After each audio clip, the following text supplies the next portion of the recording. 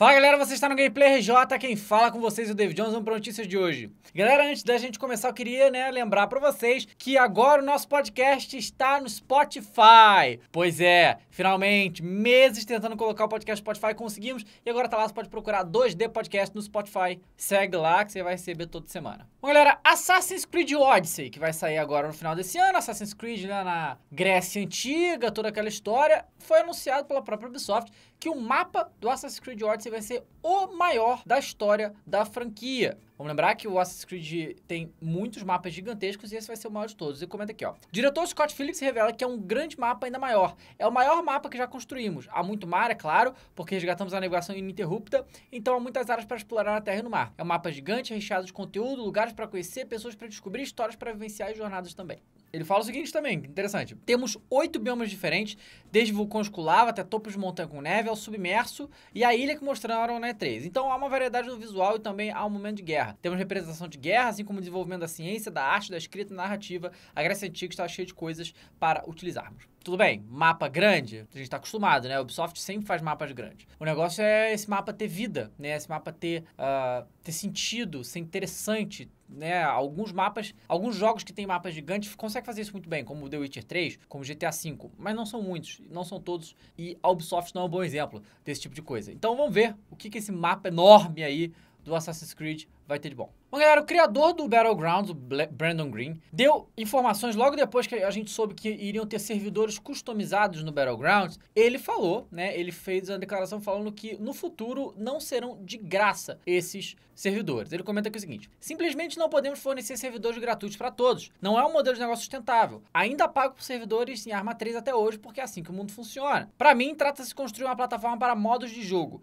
É para isso que o modo personalizado está lá. É como a versão de Little Mods. Nós realmente queremos dar capacidade dos jogadores para criar novos modos, bem como fornecer presets para as pessoas experimentarem. Olha, eu não sei bem isso não, hein? Quantos jogos aí você cria o seu próprio servidor e não paga absolutamente nada? Minecraft é um exemplo. A gente tem lá o nosso servidor, pagar por isso, né? Um servidor particular e tal. Então, eu não sei. Eu realmente não sei. E existem muitos jogos. O Sun faz servidor pra gente de Ark e tal, e a gente não paga. É, e dependendo do que for, tipo, se fazer uma partida customizada, você vai ter que pagar fazer uma partida customizada. É, é, não sei. Realmente não sei, não sei, não sei o que dizer sobre isso, na verdade. Mas digam o que você acha disso. Bom, galera, a Nintendo anunciou a sua nova fase do Nintendo Labo, né? Eles falaram que vai ser lançado agora o terceiro kit de brinquedos e vai ser um carro, um avião e um submarino. É, eu gostaria muito que a Nintendo revelasse os números do Nintendo Labo, mas por ela não revelar, mostra que não deve ter vendido muito bem, né? Já que elas toda hora estão falando das vendas do Nintendo Switch e não falam absolutamente nada sobre o Nintendo Labo. E assim, para gamers normais, como eu, vocês que estão assistindo esse vídeo, uh, Nintendo Labo e nada é a mesma coisa. Assim, né? É, sendo justo, a Nintendo nunca disse que era para nós isso aí. É para crianças bem jovens. Então, a gente não sabe nada sobre isso, não me anima nem um pouco. É, não me anima pegar nem a primeira série que saiu, bagulho carão e papelão e tal, mas tá aí. Se interessou, vai ter essas novas versões para brincar. Bom, galera, e a EA, hein? A EA anunciou que está muito interessada em fazer um Battle Royale de graça. Assim, eles já anunciaram que vai ter Battle Royale no Battlefield 5, Battlefield V, né? Já anunciaram que vai ter. Mas eles estão pensando em fazer um Battle Royale free to play nos moldes aí de Fortnite e diversos outros. Um dos executivos da EA falou o seguinte sobre isso. Estamos interessados em experimentar lançar um jogo independente free-to-play que podia ser um shooter ou outro gênero. E falando que essa não é a visão para o Battlefield. Claro que não, eles querem vender full price Battlefield, né? Mas Battlefield vai ter os, todos os modos normais, né? Que nem o COD, que vai cortar os modos normais para botar o Battle Royale. Battlefield vai ter tudo normal que todo mundo tá acostumado. E o Battle Royale, então tudo bem. Mas aí, né, assim, é, olha, e olha que eu amo Battle Royale, mas eu juro que eu não aguento mais vagabundo, não aguento mais vagabundo falando de Battle Royale. Porque eu amo Battle Royale, mas eu jogo basicamente só PUBG e Fortnite. Mas eu adoro o estilo. É que nenhum outro me pegou assim pra eu, né, não. Mas Vamos ver, né? E aí, uma empresa grande.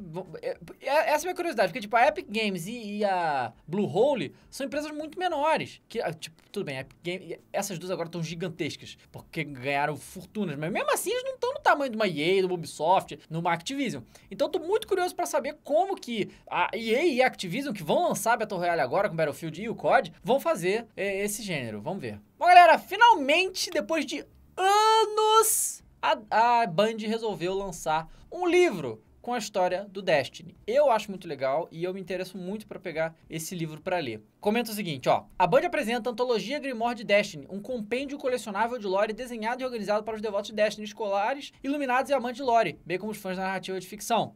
Até agora, os mitos e mistérios e maquinações do universo Destiny estavam escondidos e espalhados pelos mundos, com fios sedutores que indicavam uma tapeçaria maior. A Antologia Grimoire de Destiny entrelaça contos de múltiplas fontes pela primeira vez, dando uma nova luz aos heróis lendários de Destiny, vilões infames e seu grande momento de triunfo e tragédia. Cada volume pretende iluminar uma faceta do mundo. A antologia completa confirmará e desafiará os pensamentos e assunções dos jogadores sobre o significado de ser um guardião, oferecendo novas e diferentes perspectivas da guerra cósmica e tal. E a imagem do livro, essa aí que vocês estão vendo, é um livro bem bonito. Então, isso aí era um negócio que já devia ter há muito tempo no Destiny, né? Vamos falar a verdade. Porque, infelizmente, a história do Destiny é contada a, a, a Deus dará. Você a, a, história que você joga no jogo é só um pedacinho de uma história gigantesca que não tá lá, simplesmente. O jogo não te conta essa história, sabe? Você fica pegando peças, sei lá o que, vem site. Não, tem que contar a história do jogo. Tanto no Destiny 1 quanto no Destiny 2 a gente não sabe. Não, simplesmente não conta a história desse universo que a gente vive, o que é lamentável. Você, as histórias que a gente tem dentro do Destiny são histórias das situações que estão acontecendo naquele momento. Mas a história daquele universo é muito maior. E